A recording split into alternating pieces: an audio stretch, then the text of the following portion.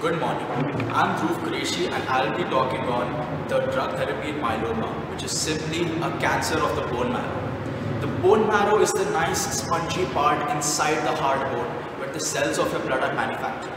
But in myeloma, these cells are produced in excess and abnormally.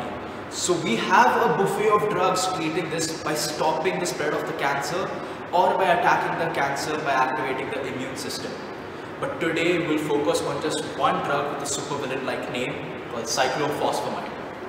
So what does our friend do? Well, it is an immune suppressing anti-cancer drug used in chemotherapy.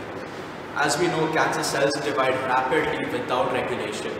Just as we pass on our genes to our children, cancer cells pass on DNA to newly formed cells.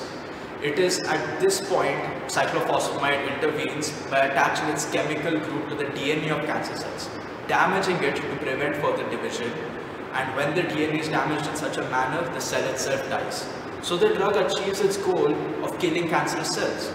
But while mainly targeting cancer cells, the drug also affects healthy cells through the same mechanism, especially the immune cells, which are, which are the foot soldiers defending you against bacteria, fungi and viruses. Due to this reduction of soldiers posted along the LOC of your body, a common side effect is immune suppression, making you prone to infections.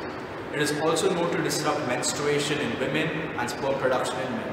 Other side effects include hair loss, vomiting, diarrhea, weight loss, abdominal pain, changes in skin and nail color, painful urination, black tarry stools, and yellow discoloration of the eyes. But as frightening as chemotherapy sounds, its effects vary from person to person and the dose administered.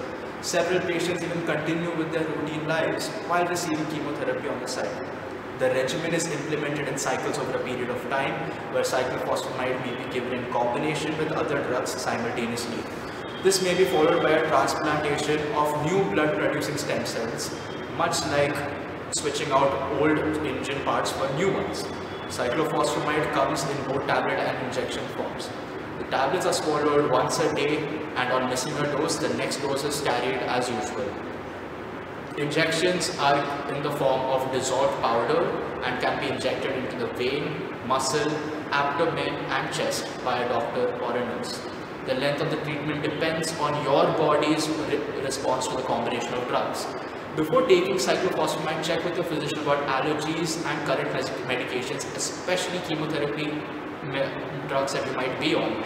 The drug is commercially available in India and sold under the brand name Endoxan, ranging from 72 to 280 rupees per dose, depending on the dosage, making it relatively affordable for those who need it. Thank you.